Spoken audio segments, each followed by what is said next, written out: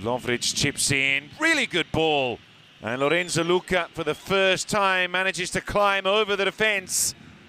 Didn't make a clean contact.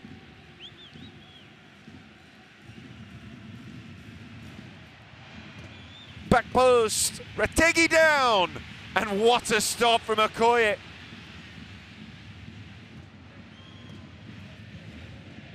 Gudmundsson to deliver. Oh, it's a good ball and it's off the post. Vasquez timed the header well, but just couldn't creep it inside the left glove of Okoye. Martin.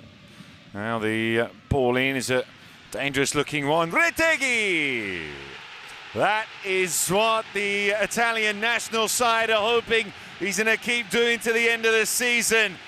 A quality strike from Matteo Retegui as Genoa take the lead. Gudmundsson against uh, Ehizibue.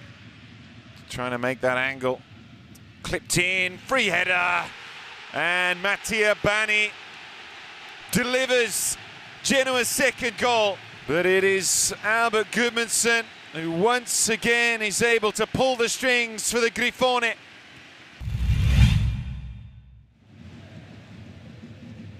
Gudmundsson, he goes alone and he's brought down, and that is going to be a second yellow card. And Kristensen is off. Terrible start to the second half for Udinese.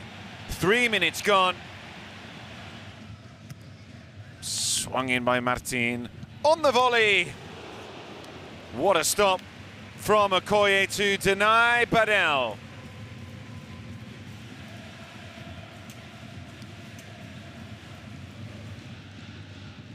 Frendrup on the turn. Retegui, Gudmundsson.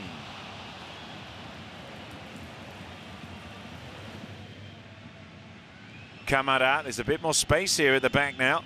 And Udinese might get a sight of goal. It's played in. And there is Lorenzo Lucca. There looked to be contact. The contact was clearly made first with uh, De Winter before the ball. It is Gudmundsson, and it was so nearly a special third goal to close out the match. It's another statement victory for Gilardino. It finishes Genoa 2, Udinese nil.